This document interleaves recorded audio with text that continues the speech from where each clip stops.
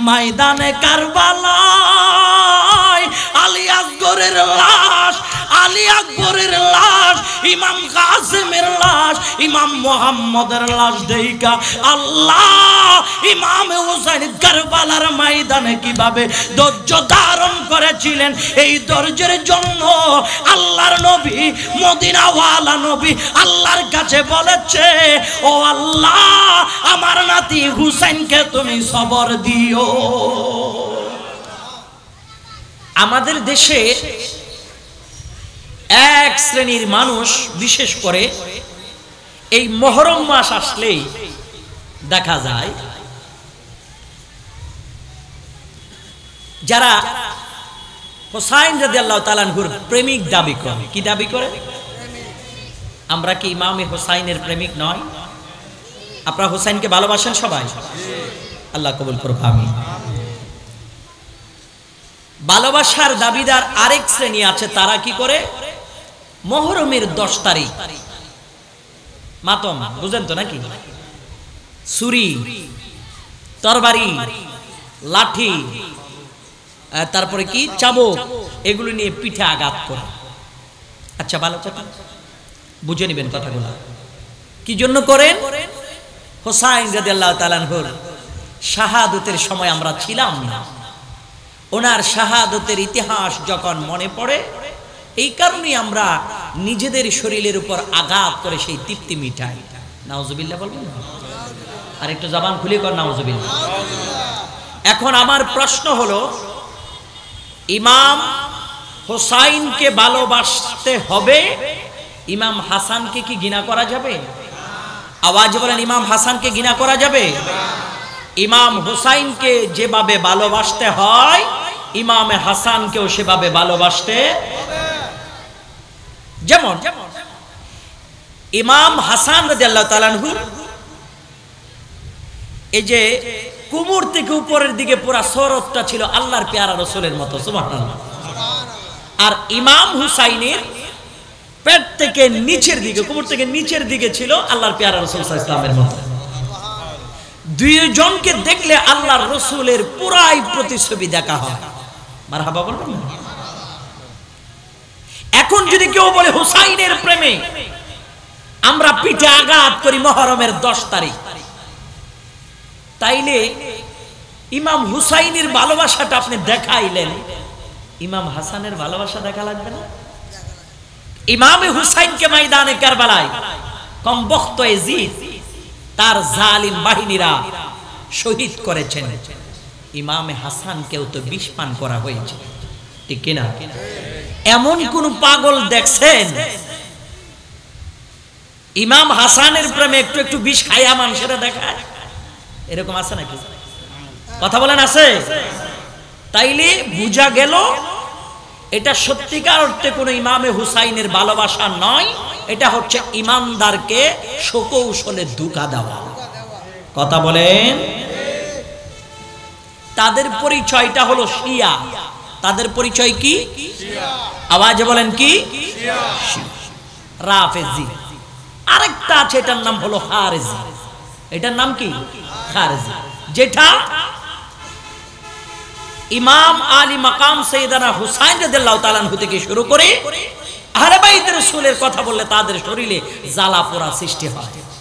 কথা বলেন। হ্যাঁ আমার কথাগুলা কি? মিশা কথা নাকি? তো জবাব দেন না কে রে? আমার মনে হয় আপনাদেরকে আমি বুঝাইতে পারি না, নাকি? যদি বুঝে থাকেন, জবাব দিবেন। হয়তো মনে মনে অনেকে চিন্তা করে কেউ এটা গিয়ার উপরের দিকে পারে না কেন? এডি, নাকি? হ্যাঁ? শোনা যাচ্ছে না?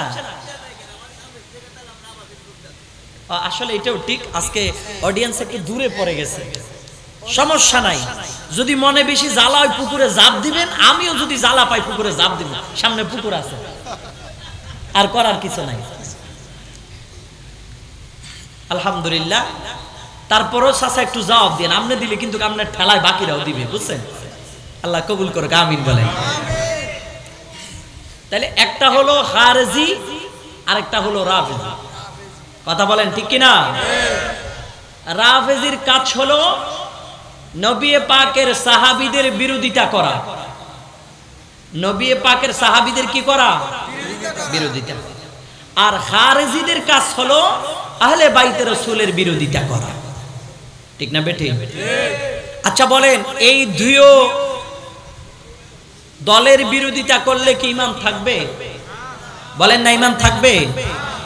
আপনাকে রসুলে পাকের সাহাবিদেরকেও ভালোবাসতে হবে, আহলে বাইতে রসুলকেও ভালোবাসতে হবে। এই শিয়া সম্প্রদায় যারা, ওনারা মানুষকে সহজে একটা ধোকা দেয়, সেটা কি জানেন? কারবালার জমিনে যার নির্দেশে সৈয়দনা ইমাম আলী মাকামকে শহীদ করা হলো, ওনার নাম কি জানেন নাকি? এজিদ, বলেন নাম কি? এজিদ। এজিদের বাবার নাম কি কেউ জানে? শুধু আমির মাবিয়া বললে গুণা হবে। হুজুর সৈয়দনা আমির মাবিয়া রদি আল্লাহ তালা উনি রসুলে পাকের সাহাবি। শুধু আমির মাবিয়া বলা যাবে হজরত সৈয়দনা আমির মাবিয়া। এই রাফেজি যারা শিয়া সম্প্রদায়, তাদের মগজ দোলাই হচ্ছে এজিদ যে একজন কমবক্ত বিয়াদব, এটা ওনার বাবা আমির মা বিয়া জানতেন। জানার পরে সজ্ঞানে সেইদিন আমির মা বিয়া ওনার বেটা এজিদের খেলাফত দিছে। নাউজবিল্লা বলেন। আরও জোরে বলেন নাউজবিল্লা কিন্তু এটা সম্পূর্ণ একটা বানোয়াঠি মিথ্যে কথা। কারণ এজিদকে ওনার আব্বা জান, হুজুর আমির মাবিয়া খেলাফত দেয়নি। বরঞ্চ যখন আমির অসুস্থ ছিলেন, ওষুধের মধ্যে বিষ প্রয়োগ করে নিজের বাবাকে হত্যা করেছে, এই জালিমের নাম হলো এজিদ। আর জোরে বলেন না, নাউজুবিল্লাহ। শুধু এই জায়গায় না, সৈয়দনা আমির মাবিয়া রাদিয়াল্লাহু ইনি এন্তেকাল করার পূর্বে হুজুর ইমাম হাসান রাদিয়াল্লাহু তাআলার কাছে বাহক পাঠিয়েছেন খবর দেওয়ার জন্য এবং খেলাফত বুঝিয়ে দেওয়ার জন্য। বুঝতে পেরেছেন?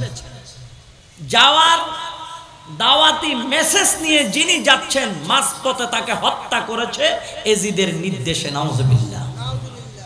তো আপনাকে কে পাওয়ার দিয়েছে, সৈয়দনা আমিরে মা বিয়ার বিরুদ্ধে বলতে? আপনাকে কে ইখতিয়ার দিয়েছে? এজিদকে রহমতুল্লাহ আলাই বলতে? এজিদকে রহমতুল্লাহ আলাই বলা যাবে না। এজিদের বাবা আমির মা বিয়াকে তুচ্ছ তাচ্ছিল্য ভাষায় কথা বলা যাবে আওয়াজে বলেন, যাবে হুজুর সৈয়দনা আমির মা বিয়া যখন ইন্তেকাল করলেন, তখন উনি মদিনা শরীফের চিঠি কর্পোরেশনের মেয়র যিনি ছিল ওয়ালিদ ইবনে অকবা কথাগুলো বোঝার চেষ্টা করবেন মদিনা শরীফের যিনি চিঠি মেয়র ছিল, ওনার নাম ওয়ালিদ ইবনে অকবা ওনার কাছে চিঠি লিখলেন। চিঠি লিখলেন আমাকে এজিদ, কে লিখছে? কথা কয় না পাবলিক আপনি একটু কথা বলেন। এজিদ কার কাছে? মদিনা শরীফের মেয়রের কাছে চিঠি লিখেছেন, আমার আব্বাজান সৈয়দনা আমির মাবিয়া ইন্তেকাল করেছেন। ইন্না আলিল্লাহি ওয়া ইন্না ইলাইহি রাজিউন। এবং আরেকটা কথা লিখেছেন, সেটা হলো মদিনাই পাকে উল্লেখযোগ্য কয়েকজন ব্যক্তি আছে, তার মধ্যে হচ্ছে ইমামে হোসাইন, আব্দুল্লাহ ইবনে জোবাইর, আব্দুল্লাহ ইবনে ওমর ওনাদের হাত থেকে আমি এজিদের পক্ষে আপনি বায়াতটা চূড়ান্তভাবে ক্লিয়ার করে নেবেন। অর্থাৎ আমাকে সমর্থন দিচ্ছে আমাকে সমর্থন দিবে কিনা, কি না দিবে এটা ফাইনাল করবেন। যদি আমি এজিদকে যদি সমর্থন না দেয় তাহলে তাদেরকে কতল করবেন? নাউজুবিল্লাহ।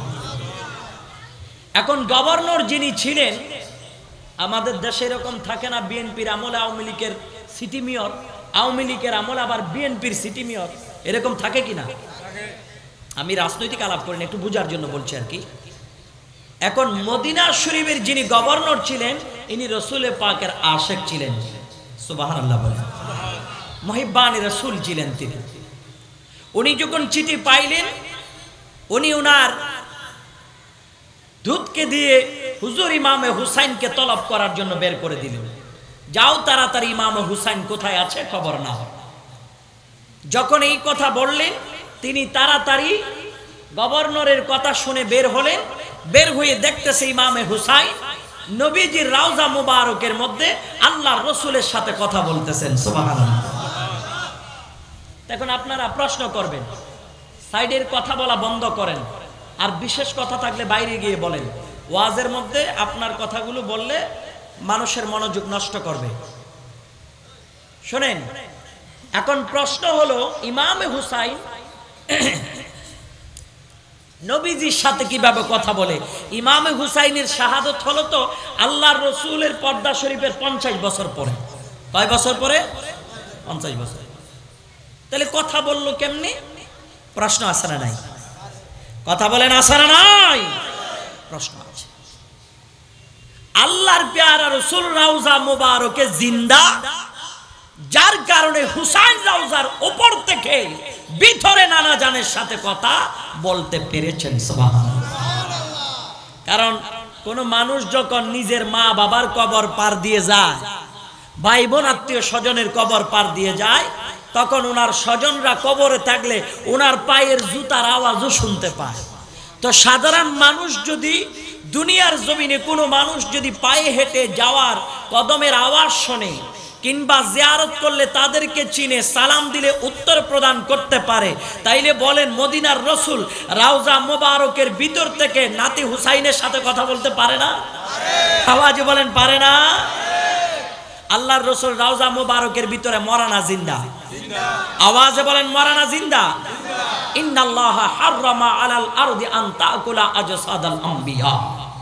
আমার নবী নয়, সমস্ত আম্বিয়া কিরাম আপন আপন রাউজাই পাকের মধ্যে জিন্দা। তাদের দেহ মোবারক জমিনকে বক্ষণ করাটা আল্লাহ হারাম করে দিয়েছে। তাইলে রসুল আমার রওজা শরীফে জিন্দা। রসুল আমার রওজা শরীফে কি। দূত আসলেন ইমাম হুসাইনের কাছে বললেন, হুজুর, আপনাকে মেয়র মহোদয় তলব করেছেন। আপনি একটু মেয়র মহোদয়ের আহ্বানে যাবেন। তখন আব্দুল্লাহ ইবনে জুবাইর, আব্দুল্লাহ ইবনে ওমর ওনারা বলছেন, কি সমস্যা? এই টাইমে তো মেয়র তো কারোর সাথে সাক্ষাৎ দেয় না। এই টাইমে মেয়র কারোর সাথে সাক্ষাৎ দেয় না। হুট করে এই টাইমে মেয়র মহোদয় ডাকলো কেন? কিন্তু থাকতে পারে। ইমাম হোসাইন বলে, ওই কিন্তু আমি জানি সোহান মহিবান রসুল যারা নবী পাকের সাহাবী যারা ছিলেন, ওনারা হুজুর ইমামে আলী মাকাম সৈয়দনা হুসাইন রাদিয়াল্লাহু তাআলা আনহুকে বললেন, হুজুর, আপনি যাবেন না, আপনার কদমে আমাদের বিনয়ের আরজি। ইমাম হোসাইন বললেন, না না, আমি কার সন্তান, আমি কার নাতি, তোমরা ভুলে গেল নাকি? আল্লাহর প্যারা মেহবুব নবীর নাতি হলাম আমি হোসাইন। আমি হলাম খাইবার বিজয়ীর নেতা হজরতে মাওলা আলী শের খোদার বেঠা জান্নাতের নারীদের সরদারিনী খাতুনে জান্নাত মা ফাতেমার বেঠা আমি এভাবে কাপুরুষের মতো যাব না, যেতে পারব না, ভয় পাবো এই ধরনের আচরণ। আমি হুসাইনের মধ্যে কখনো আসার প্রশ্নই ওঠে না। সমস্যা নাই, মিয়র। আমাকে তলব করেছেন। আমি যাব, মিয়র আমাকে কি বলে আমি শুনব। ইমাম হুসাইন রাদিয়াল্লাহু তাআলা মিয়রের কার্যালয়ের মধ্যে গেলেন। ইমাম আলী মাকাম হুসাইন যখন গভর্নিং ভবনের ভিতর প্রবেশ করলেন, মেয়র তার চেয়ার থেকে দাঁড়ায়া ইমাম হুসাইনকে ইস্তেকবালিয়া দিয়ে গ্রহণ করে নিল। আউলাদ রসুলকে মেয়র বরণ করার পরে মেয়র আউলাদ রসুলের কদমের মধ্যে আর্জি পেশ করলেন, হুজুর। আল্লাহর হাবিবের সাহাবী হযরত সৈয়দনা আমির মাবিয়া ইন্তেকাল করেছেন। ইন্না লিল্লাহি ওয়া ইন্না ইলাইহি রাজিউন। হুজুর, দ্বিতীয় প্রস্তাব হলো, ওনার বেটা এজিদ বললেন, আপনাকে এজিদের হাতে বায়াত নিতে। নাউজুবিল্লাহ বলেন। আরও জোরে বলেন না, নাউজুবিল্লাহ। এজিদের হাতে বায়াত নিতে। আমাদের দেশের অনেক আরে নামি মৌলবীদের জবানে শুনি, এজিদকে বলে এজিদ নিরপরাধ। নাউজুবিল্লাহ বলে এজিদকে বলে এজিদ নিরপরাধ। এই রে পৃথিবীর মুসলমান, কোন গণনার আলেম তুমি হলা? কোন জাতের আলেম তুমি হলা আমি জানি না। ইমাম হুসাইনের নুরানি সেরে পাক যখন দামিশকের মধ্যে নামা হলো ইমাম হুসাইনের সের পাক কানা রেখে ইমাম জাইনুল আবেদিন বেমারি অসুস্থ। ইমাম হুসাইনের বেটা ইমাম জাইনুল আবেদিন। যে ইমাম জাইনুল আবেদিনের নুরানির নসল থেকে পৃথিবীর মুসলমানেরা এই পর্যন্ত আওলাদ রসুল পেয়েছেন আমরাও পেলাম হজরত কেবলা মাইজ ভান্ডারের খানদানে পাক চল্লিশতম আওলাদ রসুল সৈয়দ ইরফানুল হক মাইজ ভান্ডারিকে সুবাহান يا رسول الله صلى الله عليه وسلم يا أبو صلاة المستقيم مرحبا مرحبا مرحبا مرحبا ইমাম জৈনুল আবেদিন অসুস্থ ইমাম জৈনুল আবেদিনকে বলে হ্যাঁ জৈনুল আবেদিন, দেখো তোমার বাবার পরিণতি। তোমার বাবার পরিণতি। তোমার বাবার পরিণতি দেখো। আমি এজিদের বিরোধিতা করার কারণে তোমার বাবার এই পরিণতি হলো। তুমি কি বলবা? তুমি কি বলবা? ইমাম জাইনুল আবিদিনের নুরানি জাবান মোবারকে বললেন, আল্লাহর পক্ষ থেকে যেটা ফয়সালা হয়েছিল সেটাই হলো, সুবহানাল্লাহ। আরেকটু জোরে বলুন না, সুবহানাল্লাহ। তাহলে আপনারা বলেন, যারা বলে এজিদ অপরাধী নয়, এজিদের হাত নাই, ইমাম হুসাইনকে শহীদ করার পেছনে এজিদের কোনো হাত নাই, ষড়যন্ত্র নাই। এই কথা যারা বলে তাদের কাছে আমার প্রশ্ন রইল, এজিদ কীভাবে ইমাম হুসাইনের শাহজাদা, ইমাম জাইনুল আবেদিনকে এই কথা বললেন? দেখো, আমার বিরোধিতা করার কারণে তোমার বাবার কি পরিণতি হলো? তাই এই কথা দ্বারা স্পষ্ট হয়ে গেল, ইমাম হুসাইনের শাহাদতের নির্দেশ দাতা হচ্ছে মালাউন এজিদ। কথা কন ঠিক কিনা? আওয়াজ বলেন ঠিক কিনা? সেই এজিদকে রহমতুল্লাহ আলাই বলার মতো বাংলাদেশে আলেমের অভাব? আওয়াজে বলেন অভাব? কইমি, কি? কথা বুঝেন না। কইমি মানে বুঝেন তো। ওয়াবি ওয়াবি, কি? ওয়াবি। যেহেতু ওদেরকে যেই নামে চিনে, ওই নামটা বলে একটু চিনাই দিতে হয়। কইমি আকিদার আলেমরা। কোন আলেমের নাম নিচ্ছি না, এগুলা নিলে আবার ভাইরাল হয়ে যায়, সমস্যা। এই জন্য নাম নেওয়ার প্রয়োজন নয় আপনারা দেখবেন ওনাদের অসংখ্য আলেমরা বলছে কি, কয়, এজিদকে গালি দেওয়া যাবে না, এজিদকে লানতুল্লাহ বলা যাবে না, লানত দেওয়া যাবে না এজিদ রহমতুল্লাহ আলাই কারণ এজিদ ইমাম হুসাইনের শাহাদতের পিছনে সরাসরি জড়িত ছিল না, নাউজুবিল্লাহ। আরও জোরে বলেন, নাউজুবিল্লাহ। আচ্ছা বলেন, এই ধরনের কথা কখনো একজন রসুলের উম্মত, আশেক, আলেম কিংবা সাধারণ মানুষ বলতে পারে? বলেন না, পারে? এগুলা বললেই তখন সুন্নি আলেমদের বিরুদ্ধে সমালোচনা হয় কি? কয়, তারা শুধু মাইক ধরলেই ওহাবি ওহাবি কইয়া গালি দেয়। আচ্ছা বলেন এই পর্যন্ত আমি কোনো ওহাবি টোহাবি কইয়া গালি দিছি? কথা বলেন না, গালি দিছি? কিংবা আমার পূর্বে আমার ভাই সালাউদ্দিন কথা বলল, আমাদের উস্তাদুল আল্লামা জেনাল আবদিন সিদ্দিকি হুজুর আলোচনা করল, কি ওহাবি টোহাবি বলে কোনো গালি দিছে? আমাদের সাথে কইমি আকিদার আলেম, জামাতি আকিদার আলেম, কোন গণনার আলেমের সাথে আমাদের কোনো শারীরিক এবং মানসিক, আর্থিক কোনো ধরনের দ্বন্দ্ব নাই। আমাদের দ্বন্দ্ব হলো শুধু ইমানের ঠিক কিনা আওয়াজ বলেন, কিসের? আমাদের ইমান হলো মদিনাওয়ালা, ঠিক না বেটি? আমাদের ইমান হলো আহলে বাইতে রসুল, ঠিক কিনা যখন আহলে বাইতে রসুলের বিরুদ্ধে যখন কথা বলে, তখন তাদের সাথে আমাদের আর কোনো সম্পর্ক থাকে? কথা বলেন, সম্পর্ক থাকে? থাকে না। হুজুর ইমামে আলী মাকাম সৈয়দুস শাহাদা সুলতান জান্নাত হুসাইন রাদিয়াল্লাহু তাআলা আনহু বললেন ওয়ালিদ ইবনে কবা তুমি তো জানো, আমি হলাম রাহমাতুল্লিল আলামিন নবীজির নাতি। আল্লাহু আকবার বলুন। আমি রহমাতুল্লিল আলামিন নবীজির নাতি। আমার শরীরের মধ্যে নূর নবীজির হোমে পাক। আমি হুসাইনের শরীর মোবারকের মধ্যে আছে। কীভাবে তুমি মনে করতে পারো? আমি হুসাইন, একজন কমবক্ত জালিম। একজন অপরাধীকে আমি আমির হিসেবে মেনে নেব, নেতা হিসেবে মানব। আমি একজন লম্পক চরিত্রহীন ব্যক্তিকে কীভাবে আমির হিসেবে মানব? না না, কোনোদিনও সম্ভব না। কারণ এজিত এত বড় জালিম ছিল, এজিদ নিজের মাকে বিয়ে করাটা যায় ফতোয়া দিয়েছিল। নাউজুবিল্লাহ। সৎমা বাবা মারা গেলেন, সম্পদ বাহিরে চলে যাবে। এই জন্য এজিদের ফতোয়া হলো, সৎমাকে বিয়ে করা যায় এবং বোনকে বিয়ে করা জায়েজ, নাউজুবিল্লাহ। মদ খাওয়া জায়েজ, জানা করা জায়েজ। এই এজিদকে আজকে রহমতুল্লাহ আলাই বলার মতো ব্যক্তির অভাব আওয়াজে বলো না বাবা আছে? নাই। ইমাম হুসাইন বলে ওয়ালিদ ইবনে উকবারে আল্লাহুম্মা সাল্লি আলা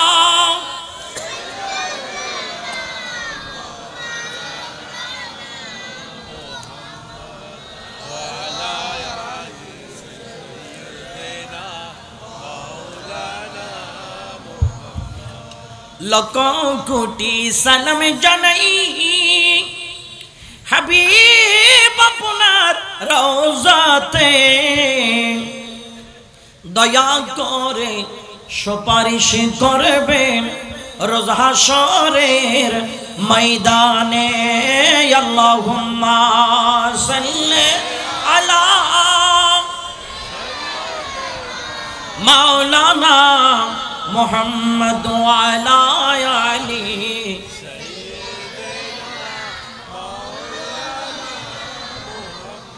আমার মুরব্বীরা, আমার যুবক মায়েরা ভালো করে শোনেন। ইমামে হুসাইন বললেন, না না, এরকম জালিমের হাতে আমি ইমাম হুসাইন নেতা হিসেবে, আমির হিসেবে তাকে সমর্থন দিতে পারি না। কোনোদিনও সম্ভব না। ইমাম হুসাইন মেয়রের কার্যালয় থেকে বের হয়ে আসলেন বীর পুরুষের মতো। আমার বাজান, এমন টাইমে হুজুর ইমামে হুসাইন যখন বের হয়ে যাচ্ছেন, প্যানেল মেয়র যিনি আছেন, যার নাম মারওয়ান, এই জালিম কয় মেয়র মহোদয়, এতই সহজে ছেড়ে দিলেন।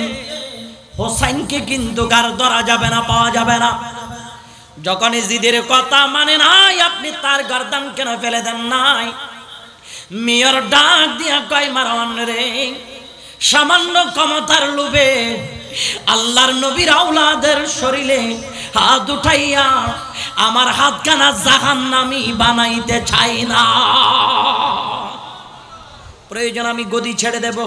প্রয়োজনে কি ছেড়ে দেব? প্রয়োজনে গদি ছেড়ে দেব, ক্ষমতা ছেড়ে দেব। এরপরও আল্লাহর নবীর কোনো আউলাদের উপর আমার হাত উঠবে না, আমার নির্দেশ যাবে না আউলাদের সুরের উপরে। পৃথিবীর মুসলমান আউলাদ রসুল এমন একটা জাত যে আউলাদ রসুলের বেলায় ভিন্ন ফতোয়া মালিকের পক্ষ থেকে গোটা দুনিয়ার মানুষকে বলে, তোমরা নাফাকি থেকে দূরে সরে থাকো। নাফাকি থেকে দূরে সরে থাকো। আর আল্লাহ রাব্বুল আলামিন বলে নাফাকি তোমরা আমার নবীর পরিবার থেকে দূরে সরে যাও। সুবহানাল্লাহ আর জোরে কন্যা সুবহানাল্লাহ। ইন্নামা ইউরিদুল্লাহ লিইউযহিবা আনকুমুর রিজসা আহলাল বাইতি ওয়া ইউতাহিরাকুম তাতহীরা। নাফাকি আহলে বাইত রাসূল থেকে অনেক দূরে। আল্লাহর নির্দেশ, বলেন কার নির্দেশ? বলেন কার নির্দেশ? গোটা পৃথিবীর মানুষকে বলে দুনিয়ার মানুষ নাফাকি থেকে দূরে সরে দাঁড়াও। আর আমার আল্লাহ নির্দেশ দিচ্ছে না নাফাকি তোমরা আমার নবীর পরিবার থেকে দূরে সরে যাও। নবীর পরিবার পবিত্র পবিত্র জবানে কখনো অপবিত্র কথা বের আওয়াজে বলেন না, হয়। হয় না। ভালো করে খেয়াল করেন, চাচারা, এই জাবান পবিত্র আউলাদ রসুলের জাবান। এজন্য আউলাদ রসুলের জাবানে যেটাই বলে সেটাই হয়। বলেন না, সেটাই হয়। আউলাদ রসুলের জাবানে বলতে দেরি, আমার মালিক কবুল করতে দেরি করে। এজন্য মুসলমান শেষ জামানায় ইমান যদি বাঁচাইতে চাও, আমল যদি পাক্কা রাখতে চাও, দলে দলে আউলাদ রসুলের দামান ধরে না আউলাদ রসুলের দামান ধরলে ইমান ঠিক থাকবে। আর না হয় ইমান যে কোনো মুহূর্তে ইমান ছিনিয়ে নেওয়ার মতো সুর ডাকাত জমিনের মধ্যে আসারা নাই, আওয়াজে বলুন আসারা নাই। এই জন্য মাইজ বান্ডার দরবারে পাকে আহমদিয়া মঞ্জিলের প্রাণ পুরুষ হুজুর সাসুফি আলহাস হজরত মাওলানা সৈয়দ ইমদাদ মাওলা মাইজ ভান্ডারি বলে, এ নবীর আশেক নবীর উম্মত দরবারে পাকে এসে আমি আমদাদ মৌলার হাতে হাত রেখে তুমি মনে করো না, এই হাত আমি আমদাদ মৌলার ধরেছ। তোমার মনে করতে হবে এই হাত আমার হজরত কেবলা গৌসুল আজম ভান্ডারি। আমার গৌসুল আজম মাইজ দামান যদি ধরো, ইমামে জৈনুল আবেদিনের দামান হয়ে যাবে। ইমাম জৈনুল আবেদিনের দামান যদি ধরো, মাওলা হুসাইনের দামান, মাওলা হুসাইনের দামান যদি ধরো, বেলায়ুতের সম্রাট মাওলা আলী শের খোদার দামান হয়ে যাবে। মাওলা আলীর দামান যদি ধরো, আল্লাহর প্যারা রসুলের গোলাম বনে যাইতে পারবা। এই জন্য পীর এখানে অসংখ্য হক্কানি রাব্বানি পিরানে তরিকতের মুরিদান আছেন। কোন হক্কানি পীরের বিরুদ্ধে বলা আমার মুর্শেদ কেবলার নির্দেশ আছে? বলেন আছে? আমার মুর্শেদের নির্দেশ কোনো হক্কানি পীরের বিরুদ্ধে বলা যাবে না। তুমি তোমার হক মুর্শেদের দামান ধরে যাও, হকের কথা মানুষের কাছে তুলে ধরো। কোনো বরহক পীরের বিরুদ্ধে বলিও না। কোনো বড় হক পীরের বিরুদ্ধে বলার আমার অভ্যাস নাই। আমার পীর মুর্শেদ সৈয়দ ইমদাদ মৌলা মাইজ ভান্ডারি, এজন্য বলে, এ গোলাম, এ মুস্তফার আশেক হজরত কেবলার দামান ধরার জন্য মাইজ ভান্ডারে আসার আগে আগে তোমাকে তুমি নিজেই ভিকারি বানাইয়া আসো। এই জন্য আপনারা দেখতেছেন আহমদিয়া মঞ্জিলে মুর্শেদ কেবলার নির্দেশে গোটা বাংলাদেশ তথা দেশের বাহিরেও মানবিক কার্যক্রম হচ্ছে, ঠিক কিনা এটার জ্বলন্ত প্রমাণ আজকের মাহফিলটা। আজকের মাহফিলটা যদিও বা আলোচনা হচ্ছে এখন রাত্রে, সারাদিন ভাই মোহাম্মদ ভাই বলেন, সারাদিন কার্যক্রম ছিল না? ছিল, কীরকম? রক্তদান কর্মসূচি ছিল, এভাবে হ্যাঁ? ফ্রি ফ্রি চক্ষু চিকিৎসা ছিল। এভাবে এটা তো নাত রসুলের প্রোগ্রাম ছিল, এটা তো বা আজকের প্রোগ্রাম হচ্ছে না। এভাবে বাংলাদেশের বিভিন্ন জায়গায় আউলাদ রসুলের সদারতে আউলাদ রসুলের নির্দেশ ক্রমে মানবিক কার্যক্রমগুলি চলছে। কথা কোন ঠিক কিনা? যেমন দেখেন, যার কাছে খাওয়ার কোনো টাকা পয়সা নাই অর্থ সম্পদ কিছুই নাই, একেবারে অবহেলিত অবস্থায় পড়ে আছে। ছেলে মেয়েকে কীভাবে লালন পালন করবে সেটা সে জানে না, কিংবা হতিশ খুঁজে পায় না। সেরকম ব্যক্তিকে বলে একটা সিএনজি কিনে দাও। নির্দেশ তাকে একটা কি দাও? দরবারের পক্ষ থেকে একটা সিএনজি দাও। সিএনজি চালিয়ে সে স্বাবলম্বী হোক। ঠিক? কথা বলেন ঠিক কিনা? অনেকে আমরা মনে করি মাইজবান হ্যাঁ? হ্যাঁ আমাদের দরবারে পাকে তো এখন ড্রাইভিং শেখানো হচ্ছে। ড্রাইভিং স্কুল খোলা হয়েছে। এবং এখানেও শাখা আছে? আলহামদুলিল্লাহ এখানেও শাখা আছে? এবং মাইজবান্ডার দরবার শরীফে আপনারা জেনে খুশি হবেন, আপনার পলিটেকনিক্যাল ইনস্টিটিউট খোলা হয়েছে সেখানে, যেটা সরকারি কারিগরি বোর্ডের মঞ্জুরি প্রাপ্ত একদম। দরবারে পাক হজরত কেবলার রাউজা মুবারকের অপোজিট পুকুরের সাথে লাগানো, আমার মুর্শেদ কেবলার পলিটেকনিক্যাল কলেজ, কথা বলছেন? তো অনেকে মনে করে মাইজবান্ডারে মনে হয় শুধু ওডি আছে। তো তোমার চিন্তা ওডি হয় কিনা এটা দেখার? তো তুমি ওডি ছাড়া বাকিটা দেখবা খুঁজতে হ্যাঁ?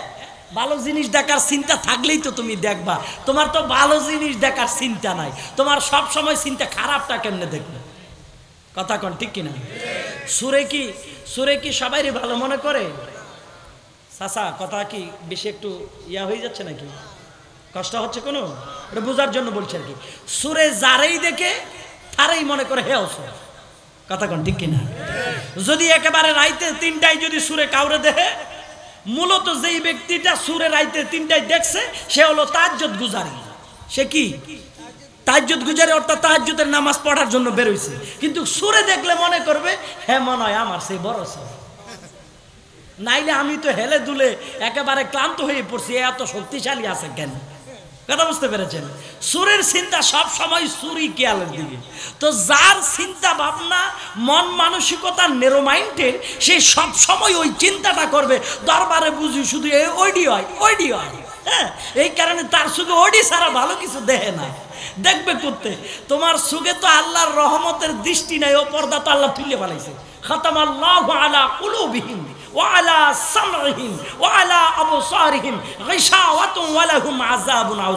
আল্লাহ তোমার দিলে সুকে কানে, সব জায়গায় কুপুরির শিল মেরে দিছে। তুমি ভালো জিনিস দেখবা না। কারণ তুমি ভালো জিনিস দেখার জন্য আল্লাহর দরবারে বলো নাই। আল্লাহ, তুমি আমার ভালো জিনিসটা দেখাও। এ বেটা, তোমার মতো চারি পাতার মৌলবী মাইজ ভান্ডারে যায় নাকি কে মাইজ ভান্ডারে যায় কোন মৌলবী জানো? মাইজ ভান্ডারে যায় আল্লাহ আমিনুল হক ফারহাদাবাদী, যার কিতাব মিশর আলাদাহার বিশ্ববিদ্যালয় এখন পড়ায়। এটা তোমার মতো সারি পাত্রা মৌলবী না। মাইজ ভান্ডারে যাই হুজুর গাজী শেরে বাংলা রহমতুল্লাহ আলাই। মাইজ ভান্ডারে যায় আব্দুল গনি কাঞ্চনপুরি রহমতুল্লাহ আলাই। মাইজ ভান্ডারে যায় আব্দুল হাদি বুসপুরি রহমতুল্লাহ আলাই। মাইজ ভান্ডারে যায় বজলুল করিম মন্দাগিনী রহমতুল্লাহ আলাই। মাইজ ভান্ডারে যায় আব্দুল সালাম ইসাপুরি রহমতুল্লাহ আলাই। মাইজ ভান্ডারে যায় হজরত মতি রহমান শাহ রহমতুল্লাহ আলাই। মাইজ ভান্ডারে যায় কাজী কাজী আসাদ আলী শাহ রহমতুল্লাহ আলাই। এগুলো একজনও ছোট কাটো টুঙ্কা মৌলবী ছিল না, এক এক একজন জামানার যুগ শ্রেষ্ঠ গ্রেট মুফতি মুহাদ্দিস মুফাসসির ছিলেন। আল্লাহু আকবার। ওরা ওডিসাইতে যায় নাই। কথা বুঝতে পেরেছেন? এরা সব সময় দরবার শরীফে গেছে, আল্লাহর ওলির বেলায়তের কদম থেকে ফয়জাত নিতে। কথা কোন ঠিক কিনা? এর ভাই ভালো মন্দ তো সব জায়গায় থাকতেই পারে। ঠিক না? ভালো মন্দ সব জায়গায় থাকতেই পারে। তবে হ্যাঁ আমি এটা বলে যে একেবারে খারাপকে সার্টিফাই করতেছি, খারাপকে সমর্থন দিচ্ছি এটা না। দেখেন, আপনার ধরো যায় একটা ভিক্ষুক আইলে হ্যাঁ আপনি কোনো রকম তারে আটানা এক টাকা, দুই টাকা দিয়ে তারে বিদায় দেন, দুটো খাওয়াই বিদায় দেন। যদি সকাল একেবারে সাতটা থেকে রাত আটটা পর্যন্ত যদি ভিক্ষুক আইতেই থাকে, আপনি কি দিবেন না? মাথা প্লাস্টিক হয়ে যাবে। কথা বুঝে না পাবলিক মাথা প্লাস্টিক হয়ে যাবে না? মাথা পুরোটাই প্লাস্টিক হয়ে যাবে। কারণ আমার মাথার মধ্যে, বুঝছেন? ওই চিংড়ি মাছের মতো সব কটা ঘু পাইখানা এই কারণে আমারটা প্লাস্টিক হয়ে যাবে, এইটাই স্বাভাবিক। কথা বুঝতে পেরেছেন? আবার যদি দেখা যায় সুর সাতটা সবাই যদি ঘরে ঢুকে চুরি টুরি করে নিয়ে যায়, কোনো রকম একজনের যদি তালাশ করে ধরবার পারি, তাইলে তার সদ্য গোষ্ঠীরে বান্দাই না আমরা, খেদাই দেই। কথা কন ঠিক কিনা? একটু যদি ডিস্টার্ব হয়, তো আমার মতো বেড়া একদিন চব্বিশ ঘণ্টার মধ্যে বারো ঘণ্টা সুর সইতে পারি না, বেনমাজি সইতে পারি না, ভিক্ষুক সইতে পারি না কোদার্ত সইতে পারি না, তো তোমারটাও মাথা আর আমার গৌসুল আজমের ঠাও মাথা। গৌসুল আজমের কদমে কত সুর, বাটপার, ভিখারি সারা বছরের পর বছর বসে আছে মহাবান্ডার থেকে কাঁদছে এটা তুমি সামাল দিতে পারবা না, এটা সামাল দেওয়ার মতো হিম্মত আল্লাহ যাকে দিলেন সেই সামাল দিতে পারবে। ইনি হলো গৌসুল আজম মেজবান্ডারি যার তার পক্ষে এগুলারে হজম করা সম্ভব না। হজম শক্তি থাকা লাগে। কন্যা হজম শক্তি? হজম শক্তি না থাকলে খাম হয় না। কথা বুঝতে পেরেছেন? হজম শক্তি থাকলে অনেক সময় ভালো খাইবার পারে। যেটিতে যেমন আমাকে হজম শক্তি খুবই খারাপ। খাইতে গেলে মাহফিল কমিটির ওখানে সবজি দিয়ে দুটি ছাড়া খাইতে না। আর যাগো হজম শক্তি ভালো, মুরগি, পোলাও, জর্দা, বিরিয়ানি যেটি দেই ওটি সাপ মুহূর্তের মধ্যে কাম ফিনিশ করে ফেলায়। বুঝতে পেরেছেন? কি আমার কথায় কষ্ট হচ্ছে মনে হয় নাকি? তো হজম শক্তি থাকতে হবে। তো কি বলেছিলাম? গৌসুল আজমের দরবার এমন একটা দরবার, যেই দরবারে জামানার যুগ শ্রেষ্ঠ আল্লাহর বলিরা গিয়েছিলেন। এবং বাংলার জমিনে যাদের যোগ শ্রেষ্ঠ, সময়ের দাবি শ্রেষ্ঠ প্রতিষ্ঠান জামিয়া আহমদিয়া, সুন্নিয়া, আলিয়া। ওই মাদ্রাসা যিনি বুনিয়াদ করেছেন, প্রতিষ্ঠাতা যিনি সৈয়দুল আউলিয়া, শাহিন শাহী শ্রীকোট, উনিও এসে আমার গৌসুল আজমের দরবারে জিয়ারতে গিয়েছিলেন, ঠিক কিনা? হজরতে হাফেজ কারি শাহ রহমতুল্লাহ আলাই ইনিও গৌসুল আজমের কদমে গিয়েছেন। তো যাদের চিন্তা ভালো, তারা ওখানে যাবে। আর যার চিন্তা খারাপ, সে যাবেও না, আর যাইলে শুধু ওই খারাপ কোনানে আছে, এটা খুঁজে বাইর করে। কথা বুঝতে পেরেছেন? আল্লাহ যেমন তার র্যাবের দায়িত্ব দিছে, গোপনে গোপনে ডিবি পুলিশের মতো সব কাটা বাইর করতে আছে। এই দায়িত্ব তোমার দেয় নাই। যদি মালিক যদি কেমতের ময়দানে তুমি কি কি করছ, এটা যদি বাইর করে, তখন তুমি হজরতের সামনে হা করে বইয়ে থাকবা। কারণ তোমার জীবনে চুরি বাদ পারি ওখানে যেটুকু হচ্ছে তার চেয়ে হাজার কোটি গুণ বেশি তোমার ভিতরে আছে, ঠিক কিনা? যাক, সেদিকে গেলাম না। আমার কথা ছিল ওই জায়গায়। গৌসল আজম মেজবান্ডারির খানদানে পাক বলে, আমার হাতে বায়াত নেওয়া, এটা মূলত আমার গৌসল আজমের হাতে সুপার্দ করা, ঠিক কিনা? আর গৌসুল আজমের হাতে মানে এটা হুজুর গৌসে পাকের হাতে দেওয়া। গৌসে পাকের হাতে মানে হুজুর জৈনুল আবেদিনের হাতে দেওয়া। হুজুর জৈনুল আবেদিন থেকে হুজুর ইমাম আলী মাকাম হাসান হুসাইনের হাতে দেওয়া। ওখান থেকে মাওলা আলী শের হোদার হাতে, ওখান থেকে মদিনাওয়ালা রসুলের হাতে। এটা এক একটা সিস্টেমে আল্লাহ পর্যন্ত বান্দাকে পৌঁছাই দেওয়ার যে স্কুল, ওই স্কুলের নাম হচ্ছে শাহানে বেলায়ুল। সুবহানাল্লাহ। আর একটু জোরে বলুন না, সুবহানাল্লাহ। আপনার স্কুলের রেজাল্ট যদি ভালো না হয়, কলেজে যাওয়া যাবে? কথা কয় না, কলেজে যাওয়া যাবে? আর কলেজে ইন্টারের রেজাল্ট যদি ভালো না হয়, কোনো প্রাইভেট বিশ্ববিদ্যালয় কিংবা আপনার সরকারি বিশ্ববিদ্যালয় কি অ্যাপ্লাই করা যাবে? সুতরাং বুঝতে পারেন ওয়ালি আল্লাহর দরবারে ভালো মতো যদি কবুল হতে পারেন, তাহলে সাহাবিদের দরবার আপনার গ্রহণযোগ্যতা আসবে। ওখানে কবুল হতে পারলে নূর নবীর দরবার পর্যন্ত পৌঁছা যাবে। আর নাইলে নবীর দরবারে যাওয়া কখনো সম্ভব? আওয়াজ বলেন, সম্ভব?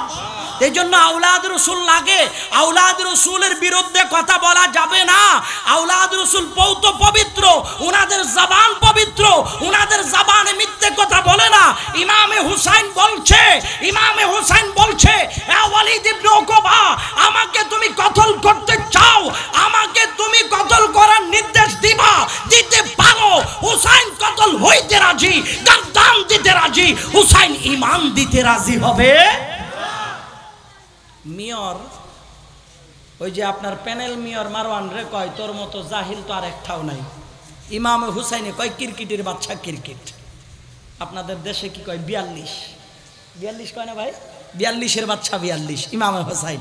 আচ্ছা যাক, ওদিকে গেলাম না। ইমাম হোসাইন রদি আল্লাহ তালাম সুজা রসুলে পাকের দরবারে চলে গেলেন। কোথায় গেলেন? রসুলে পাকের দরবারে। রসুলে পাকের দরবারে গিয়ে নূর নবী সাল্লাহ আলী সাল্লামের নুরানি কদম মোবারকের মধ্যে আরজি দিচ্ছেন, নানা যান ও নানা, আমি তো বোধহয় আর মদিনা থাকতে পারব না। সুবান আল্লাহ বলবেন না? আর একটু জোরে না সুবান কেউ বাজান, কথা কি একেবারে বেশি তিতা হয়ে যাচ্ছে নাকি? মাঝে মধ্যে কিছু কিছু মনে ব্যথা লাগ দিয়েছে নাকি? আর কথা একটু তিতা হইতেই পারে কি স্বাভাবিক। আর তিতা জিনিস হজম করতে পারলেও সুবিধা আছে। বুঝতে পেরেছেন? ডায়াবেটিস মুক্ত, ডায়াবেটিস হয় না। আর তিতা তো তিতা, এটা তো অযুক্তিক তিতা না, এটা যুক্তিক তিতে। হজম করে দেখেন, নাইলে আমার আইয়ে এখানে খেপাইবেন, আর না ওই যাওয়ার সময় জিগাইবেন, এডি ওই। আপনি যদি হজমেই না করেন, খাওয়ার আগে দিকে যদি পালাই চলে যান, রোগ যাইবে করতে হ্যাঁ মেডিসিন না খাইলে কি রোগ যায়? কথা বলেন, মেডিসিন না খাইলে কি রোগ যাবে? এটা শোনেন, তারপরে চিন্তা ভাবনা করেন কি করা যাবে। আল্লাহর প্রিয় নবীর, রাউজান শরীফের মধ্যে ইমাম হুসেন গিয়ে কয়, না যান। মদিনার ভূখণ্ডে আমার পক্ষে থাকার সম্ভব না। আল্লাহর প্রিয় নবীকে কয়, না না, এই মদিনার জমিন হলো শান্তিময় জমিন। গোটা পৃথিবীর মানুষ বিমারি হইয়া সোনার মদিনায় যখন প্রবেশ করে, মানুষটা সুস্থ হয়ে যায়। না না, এই মদিনায় যদি আমি আর বেশি দিন থাকি এজিদ আমাকে বাধ্য করবে তার হাতে বায়াত নিতে, তাকে নেতা মানতে। না না আমি তো আপনার নাতি। না না আমি তো জিদকে কোনোদিনও গ্রহণ করব না। ও না না গো, যদি কথার ভিতরে যদি কাটাকাটি তর্ক বিতর্ক শুরু হয়, তখন দেখা যাবে মদিনার অলিগলিগুলো রক্তাক্ত হয়ে যাবে। মহিব্বান রসুল যারা আউলাদ রসুলের প্রেমিক যারা, নবী পাকের আশেক যারা, তারা সহ্য করতে পারবে না। এজিদের বাহিনীর সাথে যুদ্ধ শুরু হয়ে যাবে। না না গো, মদিনার পবিত্র মাটি আমি রক্তে লাল করতে চাই না। ও, না না, আমি চলে যাচ্ছি, জনমের মতো আমি হুসাইনের বিদায় দাও গো, না না। না হুসাইন চলে যাচ্ছে, ব্যথা কম না গো, না না। যেই হুসাইন জন্মের পরে সর্বপ্রথম নানার কুলে, ওইটা নানার জবানে। হুসাইনের কানের মধ্যে আজানের ধ্বনি শুনেছিলাম, ও নানা, হুসাইন কাইতে গেলে নানারে তুকায়, শুইতে গেলে নানারে তুকায়। হুসাইন, নানা ছাড়া কিছু বুঝতাম না। হুসাইন যদি মসজিদে যায়, নানা, সিজদা মোবারক থেকে নানা মাথা উঠায় না। ওই নানার রাউজা ছেড়ে দিয়া চলে যাচ্ছে গো নানা। ও নানা, আমি চাই না রক্তে লাল হোক মদিনা। আল্লাহর নবীর রাউজা শরীফের মধ্যে ইমাম হোসাইন কানতে কানতে চুকের মধ্যে তন্দ্রা তন্দ্রা বাপ চলে আসলো। নানা জানের রাউজা শরীফে কান্না করে মাথা জুলাইয়া দিল। আল্লাহর পেয়ারা নবী রাউজা শরীফ থেকে উঠা ইমাম হুসাইনের বুকে জড়াই নিয়া আল্লাহর দরবারে দোকানা হাত বাড়াইয়া দিল। নবীজি আল্লাহ তাআলার কাছে হাত উঠাইয়া আল্লাহ তাআলার কাছে বলে আল্লাহ আল্লাহুম্মা আতিল হুসাইনা সাবরা ওয়া আজরা আল্লাহ তুমি আমার নাতি হুসাইনের ধৈর্য দিও আমার নাতি হুসাইনের সবর দিও হ্যাঁ পৃথিবীর মুসলমান এখানে একটা প্রশ্ন থাকতে পারে।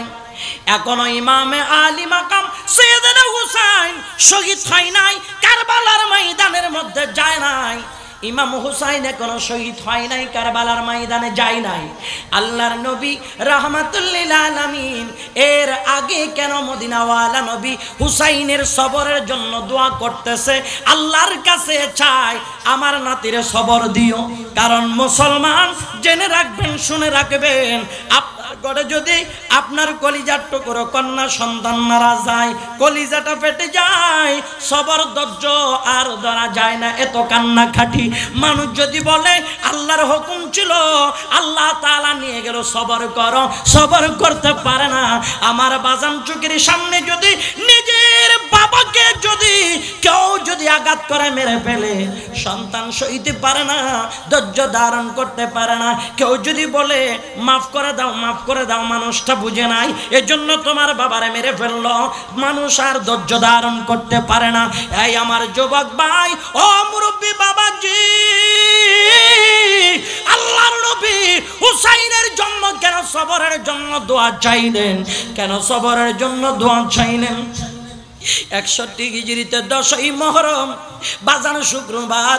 ও দুনিয়ার মুসলমান ইমাম আলী মাকাম, হোসাইন যখন ময়দানে কারবালায় যখন অবস্থান নিবে, আল্লাহর নবী জানে হুসাইনের সামনে। আল্লাহর নবীর নুরানি কলিজার টুকরো নাতি হুসাইনের বেটা আলী আসগরের লাশ চলে আসবে। আল্লাহর নবী জানে, ইমাম আলী আসগর আলী আকবরের লাশ আসবে হুসাইনের সামনে। ইমামে কাসেমের লাশ আসবে। ইমাম আলী আকবরের লাশ, ইমাম মোহাম্মদের লাশ, ইমাম আউনের লাশ আসবে, ইমাম মুসলিমের লাশ, ইমাম হোসাইনের সামনে আসবে। লাশের পর লাশ, লাশের পর লাশ, হোসাইনের সামনে যখন আসবে, পৃথিবীর কোনো মানুষ এতগুলো স্বজন হারার পরে নিজের স্থির রাখতে পারে না।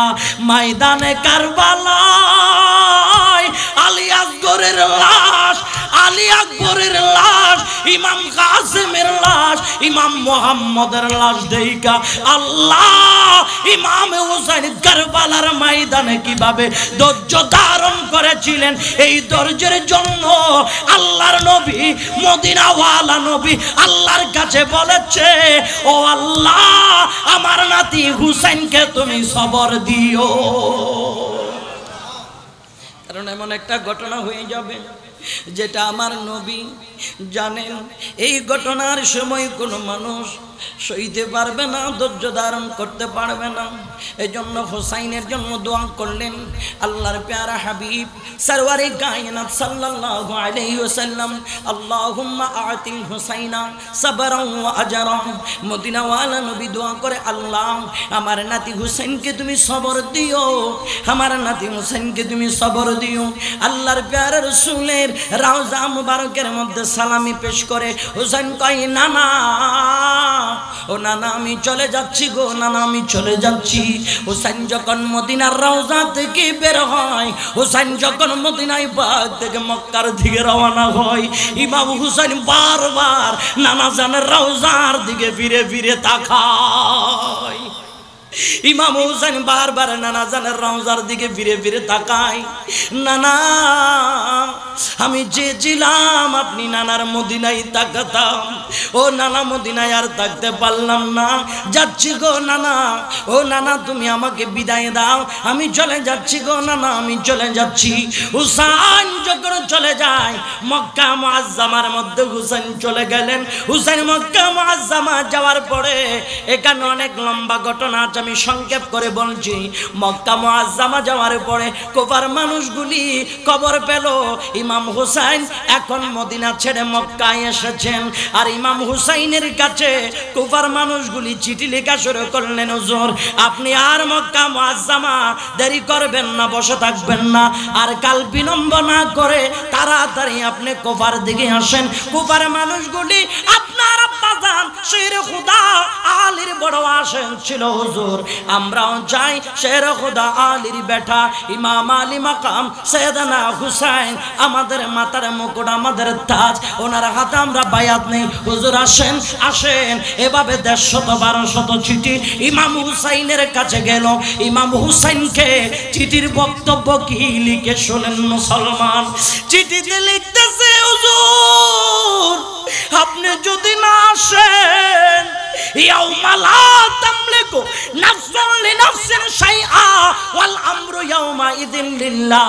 যেই দিন কেউ কারও উপকার করবে না, সেই দিন মদিনাওয়ালা নবী উম্মতের পক্ষে থাকবে। আল্লাহর নবী যদি আমরা যদি প্রশ্ন করে, এরে কুফার মানুষ, ও কুফার মানুষ, আমার নাতি হুসাইন থাকতে তোরা, হুসাইনকে বাদ দিয়া, কেন তোরা এজিদের হাতে বায়াত নিলি? এজিদের চরিত্র ভালো না, এজিদ ভালো মানুষ ছিল না, জালিম ছিল, সন্ত্রাস ছিল। এজিদকে কেন সমর্থন করলি? এই প্রশ্ন যদি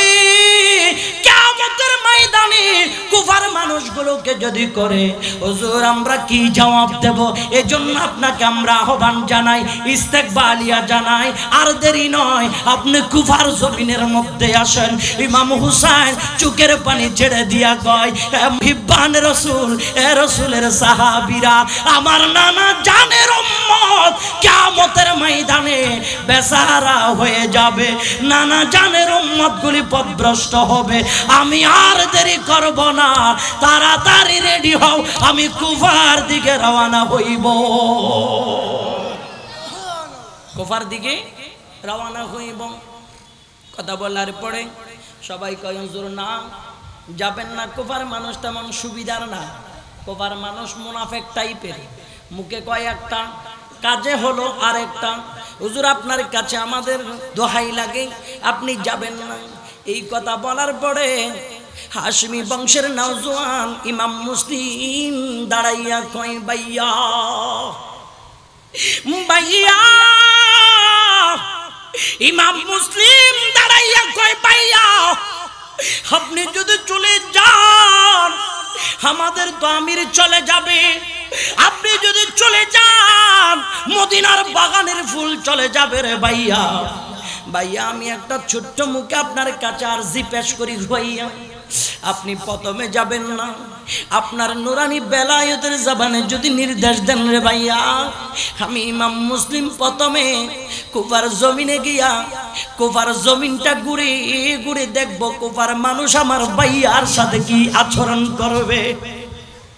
হুজুর সৈয়দানা ইমামে হুসাইনের সাথে কি আচরণ করবে? আমি দেখব প্রথমে আপনি আমাকে অনুমতি দেন। ইমাম হোসেন বললেন, মুসলিম, ভাই, আমি তোমার অনুমতি দিলাম, তুমি রেডি হও। ইমাম মুসলিম রেডি হইলেন।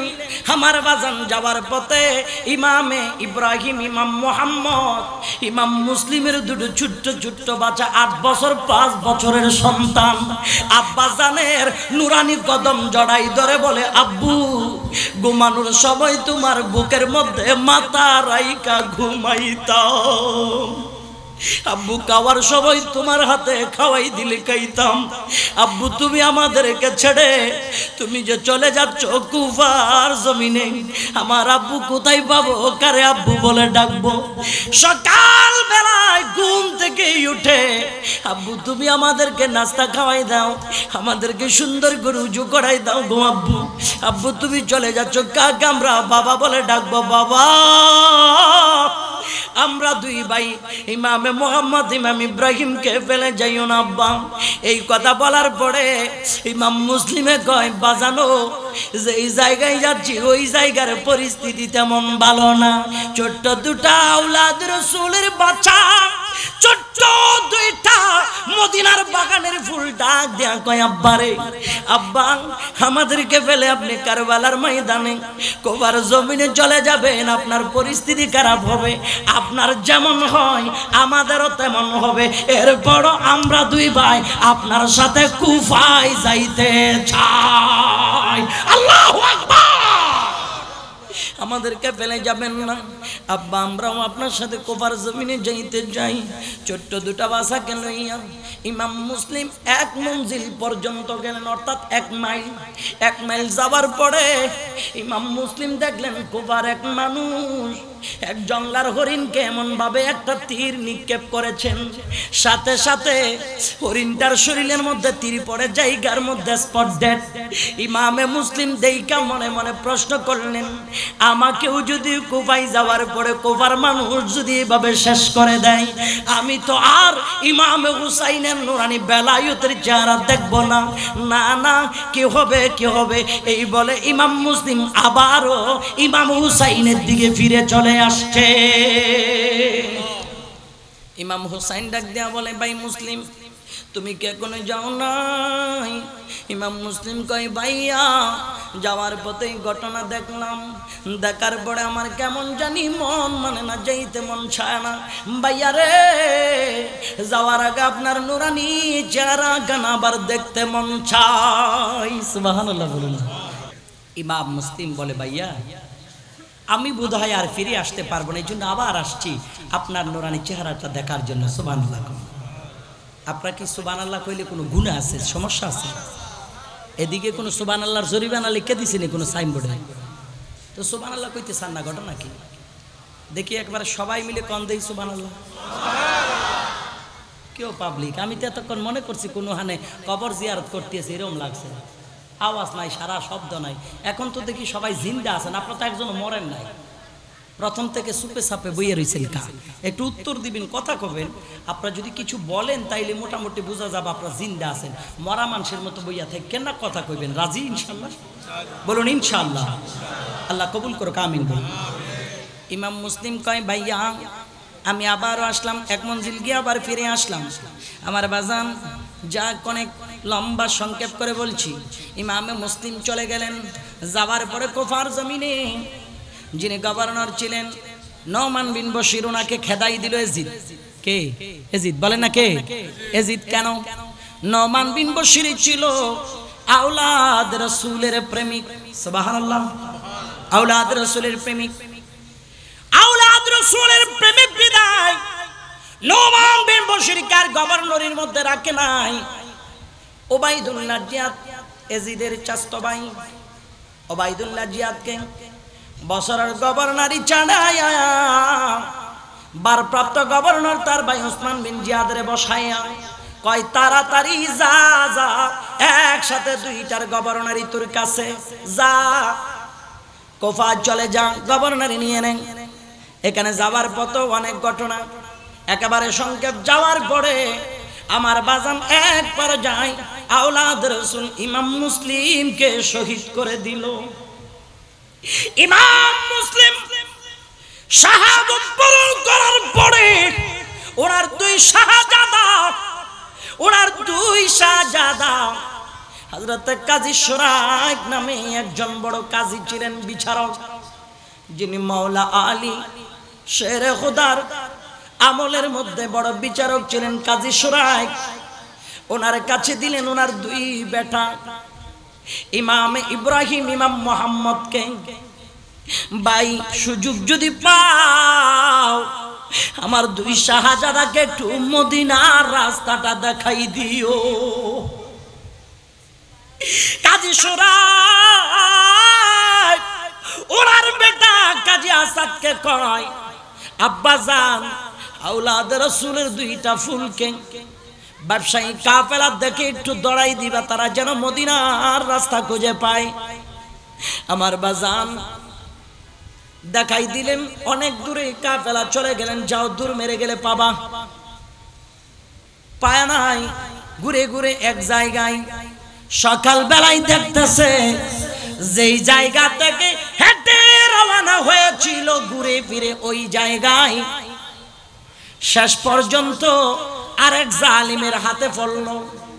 এখানে মাঝখানে যা ঘটনা সব বাদ দিয়ে দিলাম। ওই জালিমে ইমাম হুসাইনের আউলাদে পাক ইমাম মুসলিমের দুই শাহজাদাকে বিছানা থেকে চোলের জুটির মধ্যে ঝাপটা মেরে ধরে, বিছানা থেকে উঠায়া আমার বাজান পশু যেভাবে টানা কেসরে করে নিয়ে যায়। আউলাদ রসুলের বাগানের দুই ফুল ইমাম মোহাম্মদ ইমাম ইব্রাহিমকে নিয়ে যাচ্ছে। ব্যথা লাগে ব্যথা লাগে। এত কথা বলার পরও জালিম শুনে নাই, জালিম শুনে নাই। আমার বাজান, পথে মধ্যে কি জানি, মাথার মধ্যে শয়তান ঢুকে পড়ল, বুতে চেপে পড়ল জালিমের মাথায়। জিন্দা রাখছো কা তাড়াতাড়ি। ইমাম মুসলিমের দুই বেটার শরীর থেকে গারদান আলিদা করে দে। জিন্দা নেওয়ার সময় কেড়ে নিয়ে যেতে পারে যে কোনো জন। পুরস্কারের আশায় গারদানগুলি তলিতে বড়ে নিয়ে যাবি, কেউ দেখবে না। পুরাত নদীর পারে নিয়া আউলাদ রসুল ইমাম মোহাম্মদ ইমাম ইব্রাহিমের গারদান আলিদা করবে। সয়া গার্দান আলিদা করবে। বড় ভাই কয়, আমার গার্দানটা আগে ফালা, আমার ছোট ভাইয়ের গার্দান ফেলবি না। কারণ আমার ছোট ভাইয়ের রক্তাক্ত শরীর দেখে আমি সহ্য করতে পারব না। আর ছোট ভাই ডাক দেয়া কয়ে জালিম রে আমার বড় ভাইয়ের নয়। আগে আমার গর্দানটা ফালা। আমার যদি শাহাদতের পড়ে আমার পা আমার বড় ভাইয়ের শরীর লেগে যেই বেয়াদবি হয়ে যাবে, আগে আমার গর্দান ফালা। ওই জালিমে কয়, এত যখন মরার শখ, তাহলে দুইজন একসাথে চলে যা। দুইজন হালে বাইতে রসুলের শাহজাদাকে একসাথে গারদান আলিদা করে দিলেন। একসাথে আলিদা করে দিয়া আমার বাজানরে একসাথে শহীদ করে দিলেন। ইন্না লিল্লাহি ওয়া ইন্না ইলাইহি রাজিউন। একসাথেই শেষ। কথা বুঝতে পেরেছেন? জিলহজ মাসের আঠাইশ তারিখ, ইমাম আলী মাকাম সৈদনা হুসাইন মক্কা মুআজ্জামা থেকে রওনা হলেন কুফার দিকে। পথিমধ্যে অনেক ঘটনা ঘটেছেন। শেষ পর্যন্ত দেখা গেল, যখন বৃহস্পতিবার জুমার রাত যখন দেখা যায় অনেক কম্প্রোমাইজ হলো তাদের সাথে, তাদের লোকজনের সাথে, অনেক ধরনের কথাবার্তা হলো, হওয়ার পরেও দেখা গেল যে শেষ পর্যন্ত ওনার শাহাদতের জায়গা এটাই, এখান থেকে দূরে যাওয়ার আর কোনো সুযোগ নাই, এটাই মূল জায়গা।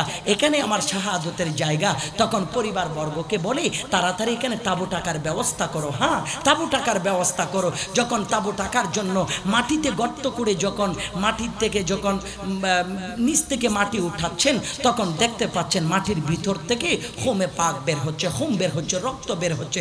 তখন জৈনব বিনতে ফাতেমা কয়, ভাইয়া, যেখানে গর্ত করলে পানি পাওয়া যায় না, ক্ষুধার্ত, তৃষ্ণার্ত, পানি নাই, খাবার নাই, কিছু নাই, এখানে এক হাত গর্ত করলে এখন হুম বের হয়, রক্ত বের হয়। ইমামে হুসাইন বলে, ভুনরে, সবর করো সবর করো, ধৈর্য ধরো। আজকে দেখো জমিন থেকে রক্ত উঠে, আগামী কালকে দেখবা, হুসাইন তোমার ভাই হুসাইনের গর্দানে যখন তার বাড়ি উঠবে, আসমান থেকে রক্তের বৃষ্টি বর্ষণ হবে। আল্লাহ তোমাদেরকে ধৈর্য দ্বারার তৌফিক দান করুক। হোসাইন দোয়া করলেন। কথা বুঝতে পেরেছেন? অনেক কঠিন সময়, অনেক কঠিন পরীক্ষা ময়দানে কারবালায়। ইমাম আলী মাকাম সৈদানা হুসাইনের উপর হয়েছে। এত কঠিন পরীক্ষা হওয়ার পরও ইমাম হুসাইন রাজিয়াল্লাহু তাআলা ময়দানে কারবালায় ইমাম দাইনায় গারদান দিয়েছেন, ঠিক কিনা? আওয়াজ বলেন ঠিক কিনা? ইমাম দেয় নাই গরদান দিয়েছে, কত কঠিন পরীক্ষা। আল্লাহ বলে, ওয়ালা নাবুলু ওয়ান্নাকুম বিশাইইম মিনাল খাউফ ওয়াল জু'i ওয়া নাকসিম মিনাল আমওয়াল ওয়াল আনফুস ওয়াস সামারাত ওয়া বাশশিরিস সাবিরিন। আল্লাহ ইমানদারকে ভয় দেখায়া, পেটের ক্ষুধা দিয়া, জান চিনিয়ে নিয়া, মাল চিনিয়ে নিয়া, বাগানের ফল ফলাদি চিনিয়ে নিয়া আল্লাহ পরীক্ষা করবে। এই পরীক্ষার মধ্যে যিনি ভালো রেজাল্ট করবে, তার জন্য মহা পুরস্কার জুরে কোন, সুবহানাল্লাহ। ময়দানে কারবালায় ইমামে হুসাইন সেই পরীক্ষা দিয়েছেন ওই পরীক্ষা দিয়ে সারা পৃথিবীর মানুষকে যুব শিক্ষা দিয়েছে। ইমানকে হেফাজত করতে হলে ইমানকে বাঁচাইতে হলে প্রয়োজনে তোমার ক্ষমতা ছাড়ো, তোমার স্বার্থ ছাড়ো, তোমার অর্থ ছাড়ো, তোমার যৌবন ছাড়ো, তোমার জীবনকে বিসর্জন দাও, তোমার গর্দান আলিদা করে দাও। এর বড় ইমান দিও না, বেঈমানের সামনে মাথা নত করো না। আমি হুসাইন ময়দানে, কারবালায় আমার গর্দান ঝোলাই দিয়া, আমি আমার গর্দান খেয়ে এজিদের তরবারির নিচে দিয়া, এটাই প্রমাণ করলাম গর্দান দেওয়া যায়। ইমানদারের ইমান কখনো বেঈমানের হাতে সোপাদ্য করা যায় না যায় না যায় না।